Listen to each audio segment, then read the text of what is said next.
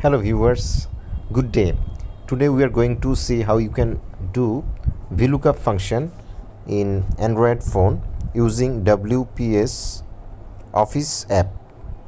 So for that we are going to open the WPS Office app first. So here you can see one file has been opened and here one column is blank the type column mainly I was I am uh, telling about this column. So what we need to do now we need to put the values of type of this column. And for this we have the DD code and that is red yellow green purple black white blue orange and sky blue.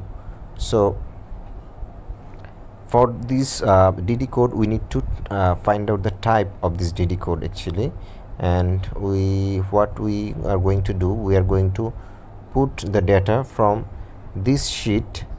We need mainly this type for which one is which. So we are going to bring it in here.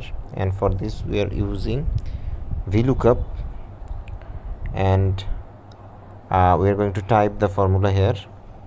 And for that we will just um, open the edit mode you can open it.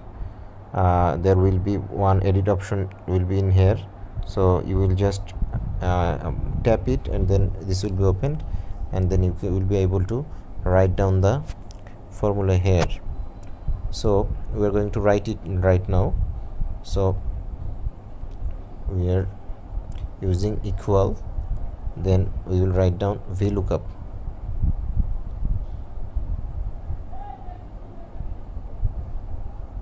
the function is uh, shown in here. So you are using it. Then you need to select the lookup value which will be the dd code. Actually here is it is red. I've selected it.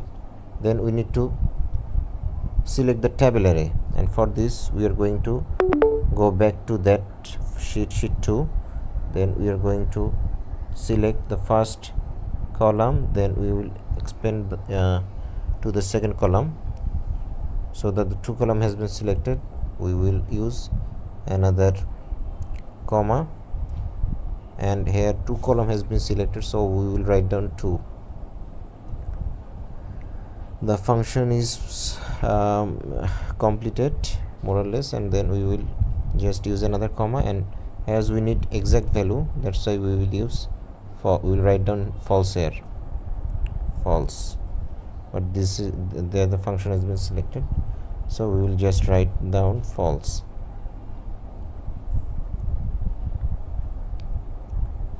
Okay. Then we will tap the tick then the function will be working. So here you can see the type of red is b. We can check it in here. Type of red is b. Okay we are right. So we just copy it and then paste it to another cells. Here is our value. We are going to justify it. We'll bring it in middle. So this is the VLOOKUP function. So you can use it in your Android phone easily.